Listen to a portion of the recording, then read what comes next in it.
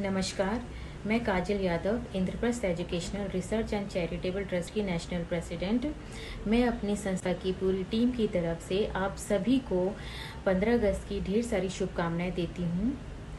और इस स्वतंत्रता दिवस के दिन हम सभी लोग एक प्रण लें खासकर मैं जहानाबाद और अरवल जिला वासियों से यह कहना चाहती हूँ कि हम सभी लोग आज के इस शुभ अवसर पर प्रण लें कि सोशल डिस्टेंसिंग का पालन करें और कोरोना महामारी बीमारी को जड़ से ख़त्म करने का संकल्प लें।